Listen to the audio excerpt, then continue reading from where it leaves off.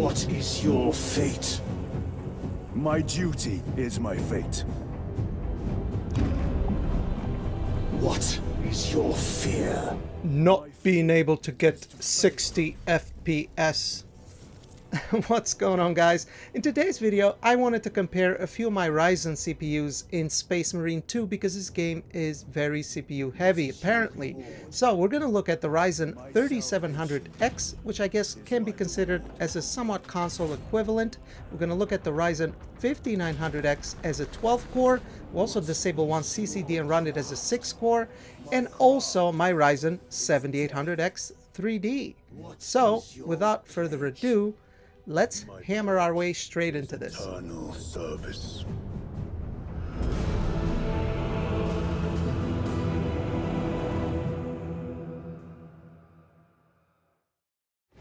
For the settings, we're using an RTX 4090 at 1440p with DLSS set to quality and the Ultra Graphical preset.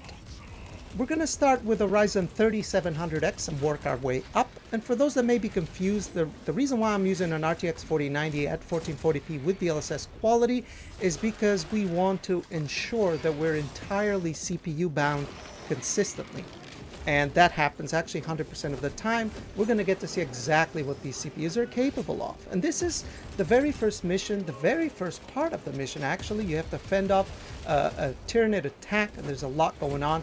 So this right here, I would say, is representative of some of the heavier areas in the game.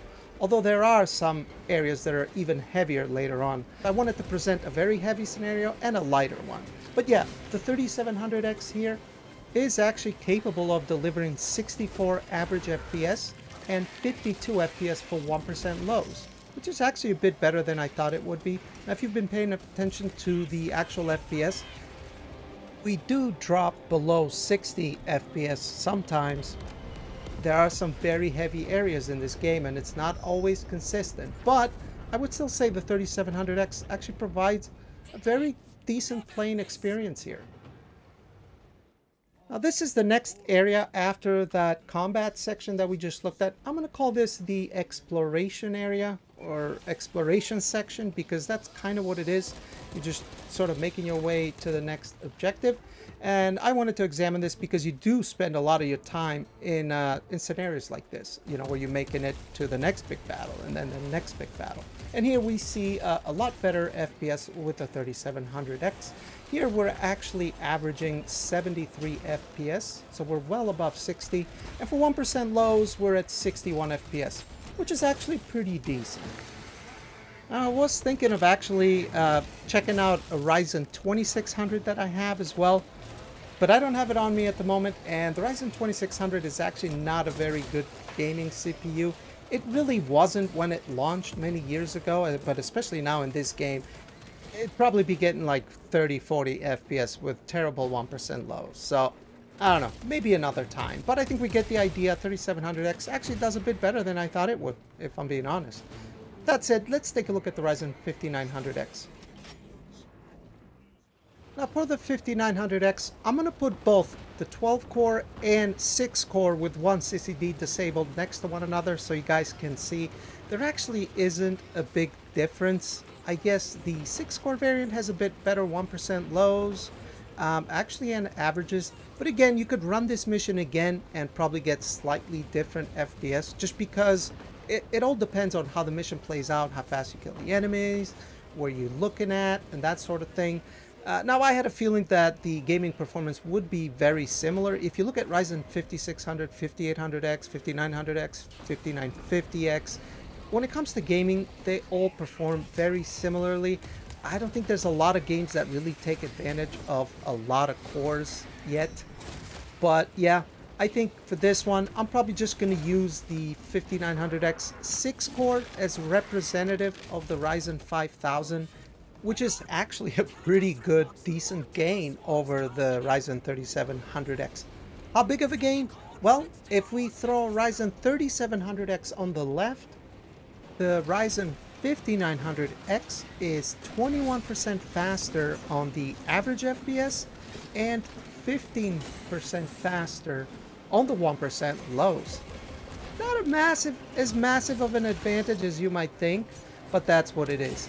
Now, as far as the configuration, maybe I, I, forgot to mention that earlier, although all my configuration is in the description for my PC, I haven't overclocked any of these CPUs. They're running PBO, obviously, and we're using 3600 megahertz RAM, 32 gigabytes CL16.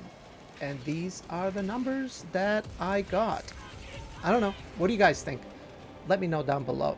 Let's take a look at the exploration area. If we now move and take a look at the exploration area, here we're getting overall higher FPS. But again, if you compare the 12-core 5900X versus the 6-core 5900X, not a huge difference, although the 6-core variant is a little faster. 86 average FPS 12-core versus 92 FPS 6-core. 71 FPS 1% lows 12-core versus 75 FPS 6-core. So again, I'm going to use the 6-core variant as representative of the Ryzen 5000 and let's compare it to the Ryzen 3700X and see how much faster it is the 3700X on the left now, we can see that the 5900X is actually a bit faster now than it was in the combat section.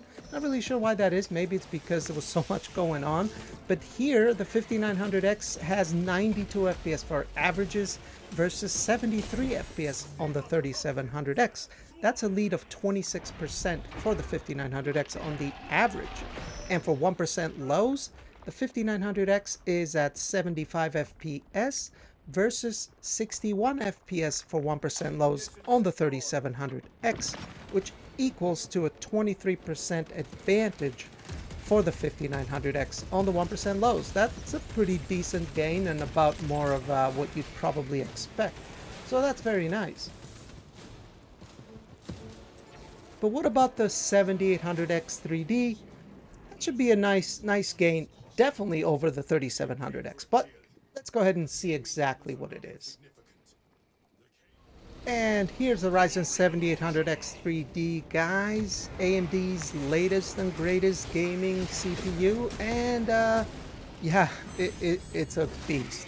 In this combat area, I mean, it blows both the other CPUs away, especially the 3700X.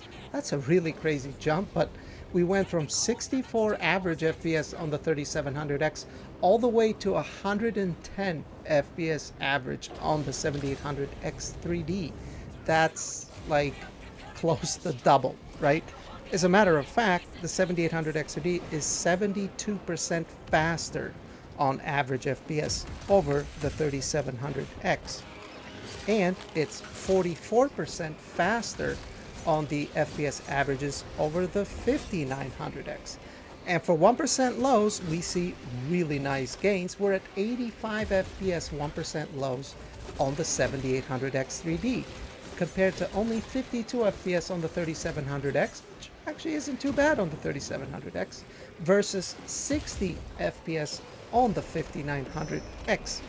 That's an advantage of 64% faster on the 1% lows over the 3700X and 42% faster on the 1% lows over the 5900X. That's a very nice, great job from AMD and it also consumes very little power compared to the 5900X which consumes like uh, like 100 watts. So yeah, that's actually pretty good we didn't really see an impressive uh, performance jump with Zen 5, unfortunately. I mean, it's been kind of hit and miss, and you have to test with uh, different versions of Windows and uh, administration modes. It just seems to be a bit of a mess. I, I just hope that the 9000X3D at least can bring some different, I don't know, better performance gains at least in a meaningful way because I was actually thinking of maybe jumping into the uh, 16 core Maybe if they add uh, Vcache to both CCDs, that would be nice. But I guess we'll, we'll wait and see. Or maybe I'll just grab an Intel chip if it's uh, noticeably faster than my 7800X3D.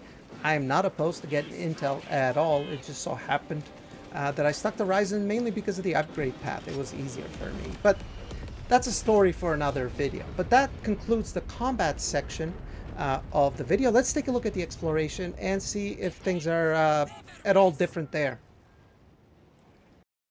on to the last part then, the exploration section. So the 7800X3D is still far ahead compared to the other two CPUs, although it's dropped a little on the 1% lows, but still we have 126 FPS averages versus only 73 FPS average on the 3700X and 92 FPS average on the 5900X, which equals to a 73% advantage over the 3700X FPS averages and a 37% advantage over the 5900X averages. And for 1% lows, I mean, it's crazy. It's 101 FPS for the 1% lows. That is higher than the other two CPUs average FPS. But anyway, the 7800X3D is 66% faster on the 1% lows over the 3700X and 35% faster over the 5900X's 1% lows. So again, very, very nice uh, jump in performance with the 7800X3D.